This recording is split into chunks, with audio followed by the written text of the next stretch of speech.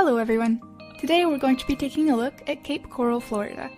This town has experienced a great deal of growth over the past few years, and we're going to see if we can find out what exactly makes this town so appealing. Let's get started!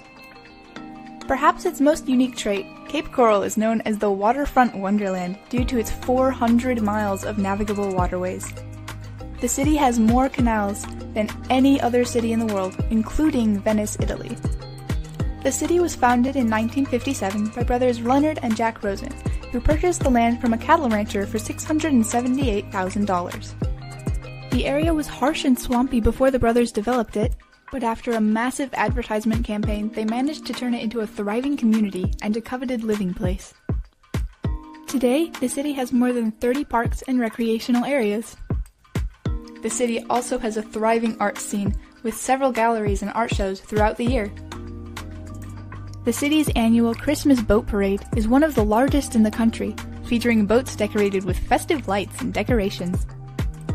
Cape Coral is home to several nature preserves, including the Four Mile Cove Ecological Preserve and the Matlacha Pass National Wildlife Refuge.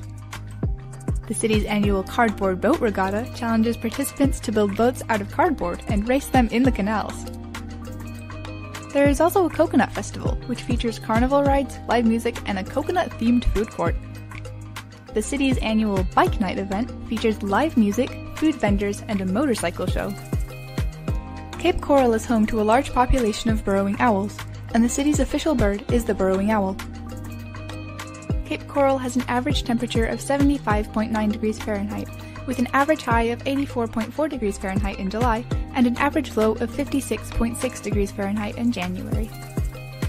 The city's annual Cape Coral Irish Festival celebrates Irish culture with live music, food, and dance performances. The city is located on the Caloosahatchee River, which is a popular spot for fishing and boating.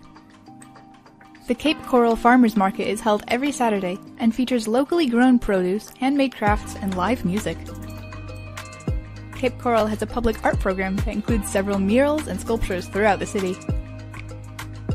The city's library offers a variety of programs and resources for residents, including a makerspace and a genealogy collection. Cape Coral also has a sister city program with Ourense, Spain.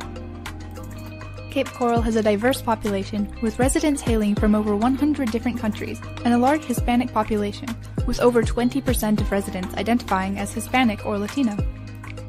The city has a robust volunteer program with opportunities for residents to get involved in community events and initiatives.